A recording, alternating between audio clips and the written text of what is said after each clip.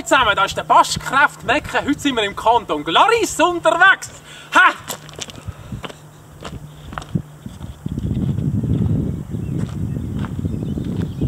Wir haben jetzt auch schon 250 Höhenmeter ungefähr gemacht.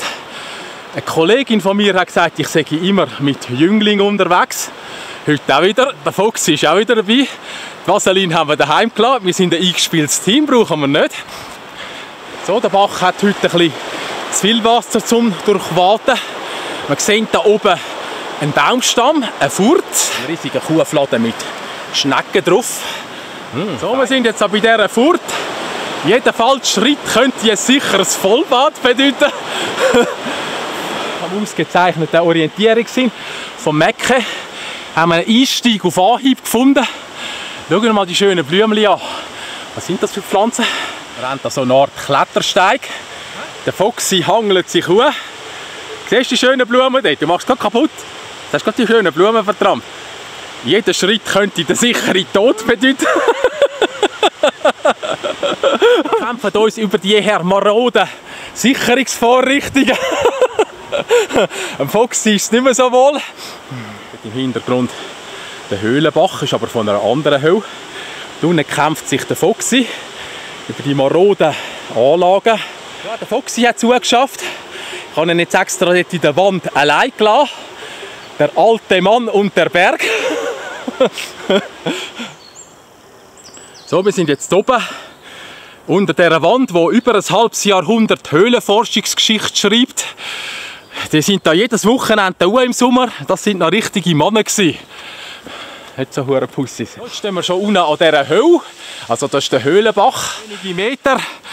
Vor uns taucht es auf. Das Höhlenbiwak. Da hast du so manche freudige Männerstunde gewesen. Ich schaue jetzt schnell da rein. Es hängt da sogar ein Schlatz und da ist verschiedene Kästchen. Da hinten hat es unter anderem Vaseline. da hinten ist das Höhlenforster-Equipment. Ja, das ist alles älteres Material. Gut, der Mac steigt jetzt nackt in seinen Unterschlatz. Ja, ja. Schau lieber den Foxy an. Der Foxy steht da vor einem Höhlenbiwak in einem Schlatz. Nur noch wenige Meter, die Spannung steigt. Wir stehen da vor einem Windloch. Ein riesiges 9 Kilometer Höhlensystem. Juhu! Ha! Der Höhlenbach, man sieht, etwa die läuft da Wasser runter. Der Fox ist voll parat in das enge, schwarze, feuchte Loch einzudringen. Der Fox, jetzt siehst du voll professionell aus. Sag schnell ein paar Worte für deine Höhlenforscher-Kollegen. Eigentlich sollte dein Götti dabei sein. Ja, Jetzt bist du- wo bist du? So, wir sind jetzt voll parat, gut eingekleidet. Jetzt dringen wir tief in das Höhlensystem ein. Ha!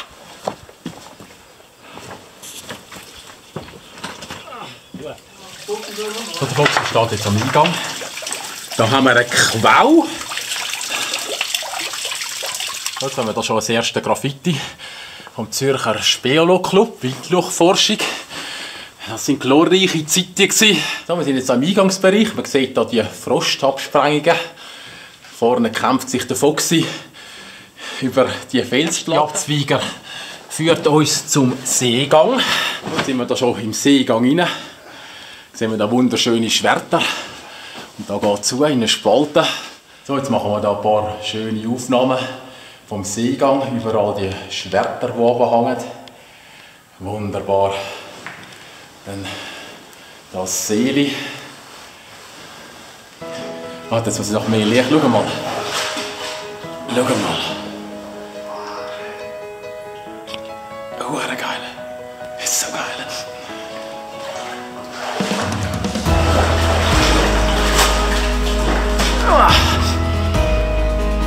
Schau jetzt mal das an.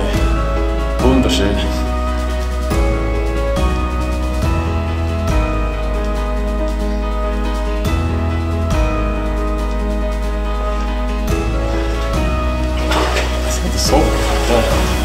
Fuchsi kämpft sich da durch das tiefe Wasser vom Seegang. Jeder Schritt, Fallschritt könnte jetzt voll gehen. Jetzt an die Stelle, wo beim ersten Besuch Feierabend war, da bin ich einfach nicht mehr weiter. Und es hat so gewindet, aber jetzt windet es auch. Der Foxy kämpft sich. Ja, es geht, er kämpft sich nicht, er läuft normal. Ja, das sind dann allerdings keine schönen Momente. So niederquerscht, so, so blöde Querschnitt. Ja. Haben wir da so einen Quergang, Sackgasse. Da ist der heroische Foxy. So, der Foxy überwindet die Stufe zum Windgang. Es ist kalt, es windet. So, wir stehen jetzt hier in einem wunderschönen, hohen Dom. Das könnte der Echo-Dom sein. Echo! Ha, ha, ha! Eigentlich hätte so ein Kriechsee dazwischen sein. Der scheint mir weggegangen zu sein in den letzten paar So, der Fox ist jetzt in dem berüchtigten, berüchtigten Kriechsee. Ich bin schon ein bisschen nass geworden. Der Foxy hat einen dichten Schlatz. Du bist auch ein bisschen nass. Jetzt haben wir hier ein verendetes Gemsi. Windet immer noch mit Sau. Eine wunderschöne Höhle. Ha! Punkt 17. Da haben wir ganz schöne Kalkformationen. Wirklich schönes, helles, warmes Beige. Jetzt haben wir da so einen typischen Wasserhöhlenquerschnitt. Es windet immer noch mit Sau. Jetzt haben wir da wieder einen nassen Abschnitt. So, wir sind jetzt hier am Echodom angekommen.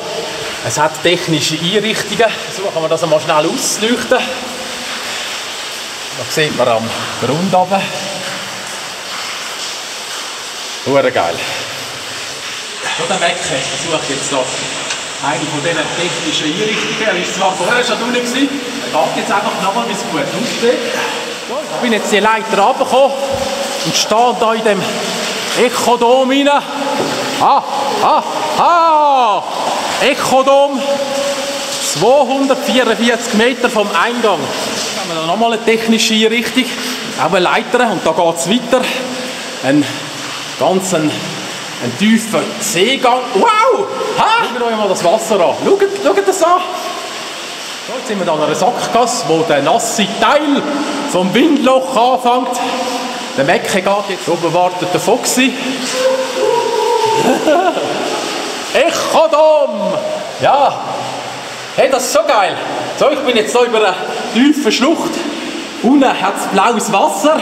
Runtergehst, gehst du nur nass. Da hinten geht es weiter. Hopp, du runtergekommen, Foxy? Unglaublich. Der Foxy weiss gar nicht, dass er verpasst. Ich bin jetzt hier über die Schlucht hinein balanciert. Jetzt gehen wir da noch ein Stück schnell hinterher.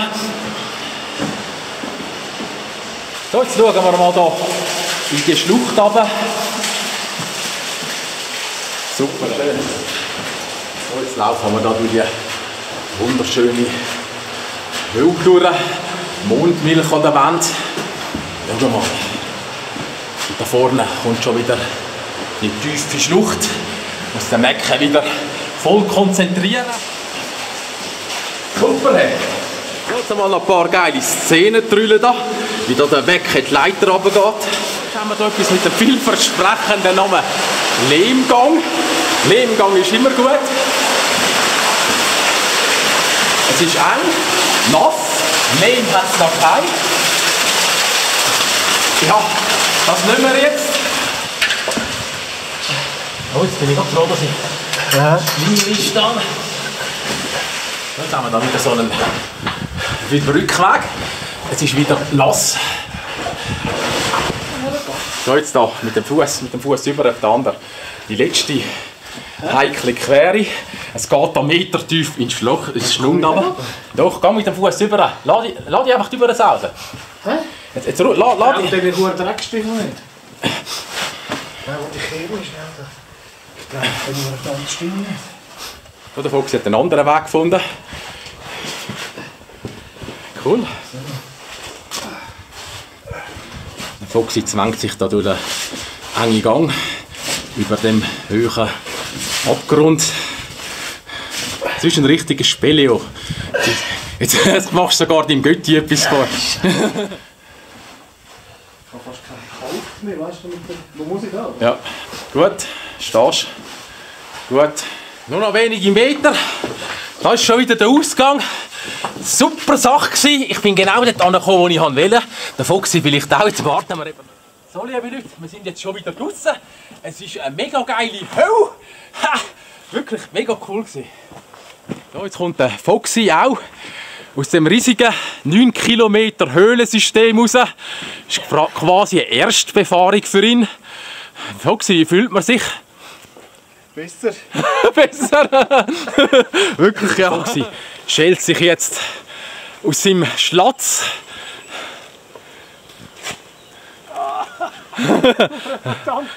Chippen, Chippen, Chippendales.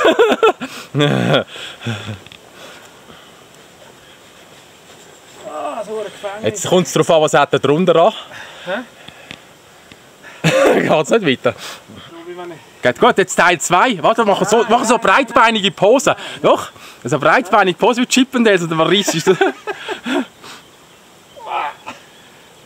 Ja, das sind noch rechte Männer. So, der Mecke zwängt sich jetzt aus dem engen Schlatz raus. Leck, Das sieht, das sieht ja sexy aus. Bei den Chippendales sieht es immer so sexy aus. Und du, Gut, schmeckt man nichts auf der Kamera. So. Schauen wir uns schnell das Biwak ein bisschen besser an. Es hat hier sogar einen Schlafraum. Der ist abisoliert mit Styropor, wie überall Mausproblem. Da hängen dann noch Schlafsack, Isomatten. So, dann haben sie da die Wäschleine gehabt. Da haben wir ein schönes Podestli mit Aussicht auf das Höhlenbächli. Da haben wilde Orgien stattgefunden. Also ich denke, die sind auch nicht immer da, um Höhlen zu forschen. Es war auch noch viel so ein Hütli-Feeling und einfach ein bisschen Männer unter sich. Haben sie sich da volllaufen lassen. Jetzt hast du wenigstens einen Grund, um daheim zu sagen, du gehst weg. Historisches Höhlenmaterial. Das ist noch Webmaterial. Aber Steigklemmen haben sie dort schon gehabt. Strickleiter. Ja, das ist wirklich geil. Ähm, so, jetzt werfen wir dann noch schnell einen Blick ins Fahrtenbuch. Der Mecke hat eingeschrieben letztes Jahr, der Hirt etwa die. Und äh, ihr werdet es nicht glauben. Die meisten denken, das sei reine Männerdomäne da oben, aber es ist etwa halb-halb. Die Hälfte Männer, die Hälfte Frauen. So, wir sind schon wieder auf dem Abendweg. Das die haarsträubende Quere. Jeder Schritt könnte den sicheren Tod bedeuten. Es geht da tief runter. Aber wir sind bald unten. Aber kommen wir sowieso. So, liebe Leute, wir sind schon wieder auf dem Retourweg. Es war eine super Tour. Ohne Vaseline. Bis zum nächsten Mal. Ciao zusammen. Es ist auch ohne Vaseline geflutscht.